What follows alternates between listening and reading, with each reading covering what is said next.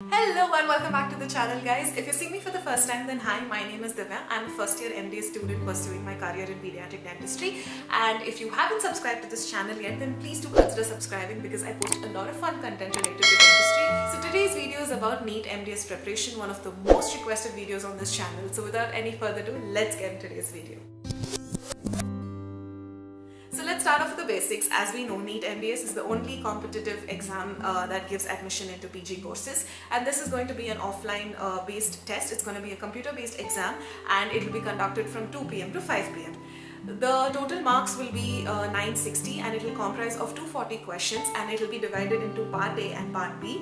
Part A will comprise of 100 questions in, uh, involving all your medical subjects and one uh, part B will be 140 questions which will involve all the dental subjects. Syllabus will be all uh, your 17 BDS subjects that is from first year to final year and uh, this will include your clinical, practical and paraclinical topics. Each correct answer you will be given plus 4 marks and for each incorrect answer there will be minus 1 mark that will be detected so please be careful. Let's talk about important subjects and marks distribution. So as I mentioned part A will be 100 questions which will comprise of all your medical subjects. General surgery and general medicine will carry more weightage and talking about part B which is 140 questions it will be all your dental subjects and all the marks will be equally distributed. Let's talk about cutoff and percentile. So every year the cutoff and percentile differs but uh, this year uh, it's as follows. For general category the cutoff is at 50th percentile. For SC, ST, OBC it is 40th percentile. For general PWD it will be 45th percentile and for SC, ST and OBC PWD it will be 45th percentile.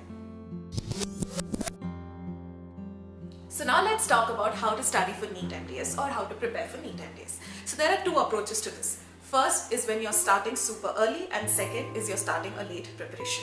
So now let's talk about early preparation. So say that you're starting your preparation from first year itself. So the best way to approach your exams is by focusing on your core subjects first. By this I mean that weekday focus on your theory subjects. Whatever is being taught in the college come back study those subjects and be thorough with the theory aspect of that topic. And in the weekends spend ample amount of time just solving mcqs based off that.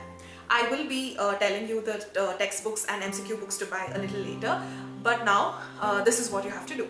So now you are uh, familiar with the course. That is weekdays your theory subjects weekends mcqs now you have to focus on high yielding topics first. And how do you find high yielding topics? That is through your previous year question papers. I have an entire video on how to top BDS in which I have explained this method in depth. So I would highly recommend you all to check that video out. I'll leave the link in the description box below and here.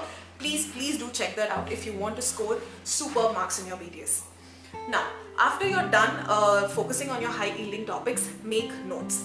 I am emphasizing on this point right now that this is your golden time to make notes. And by making notes, you're not only going to master your theory knowledge, but also whatever MCQs that you're solving in the weekends, just keep writing those MCQ points or just those important pointers at the end of those notes so that when you are revising, you have to just revise one single topic and you have like your theory aspect also covered and your NEET MDS aspect also covered. This is the best approach for cracking NEET MDS. Now let's talk about late preparation. So say that you have only a year or 6 to 8 months left for the exam. I would still highly recommend that focus on your core subjects for the first 2 to 3 months.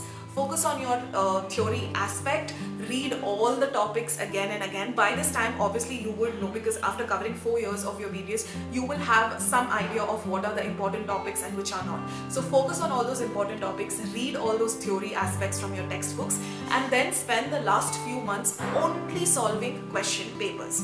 This itself will put you in the habit of, you know, time management.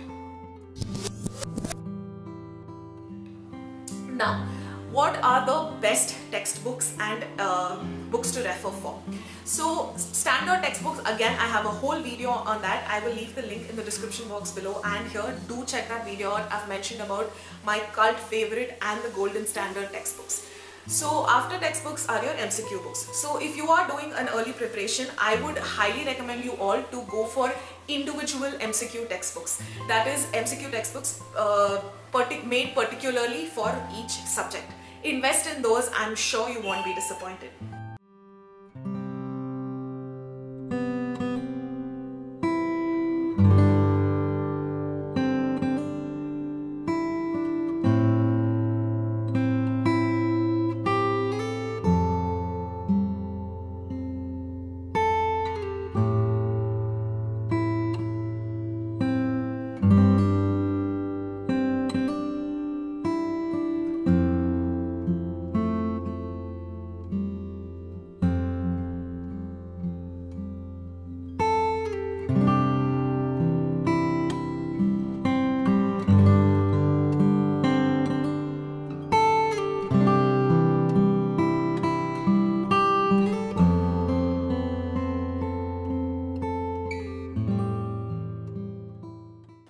Now talking about uh, your late preparation people, you can blindly go for Dental Pulse because that is one of the golden textbooks when it comes to uh, NEET MDS uh, question papers. It has covered almost all sorts of questions and they have very good explanation for each question. So you can just blindly invest in Dental Pulse. Other than that, other good books are your Dental Bites and Dental Explorer.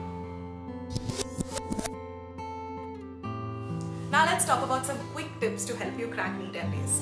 Starting off with the first tip, I would say that don't stop studying. Keep updating yourself on the newer technologies being used, the newer advancements, any groundbreaking research that has happened and keep yourself updated because no matter how much you prepare, 10 to 20% of your NEET MDS paper is always going to be a bouncer and it will be based off, you know, newer researches, newer topics, advancements. So if you keep updating your knowledge on it, there is high chances that you will be able to answer that 10 to 20% of bouncers as well. The second tip is don't do any guesswork. I know I've also been there and I know how tempting it can be to, you know, just guess that answer with the half knowledge you have.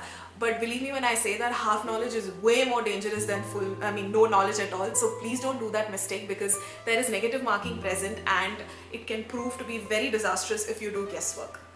The third tip I have for you guys is where to download your books and certain MCQ uh, books as well. So head over to my Instagram. I would have made a reel.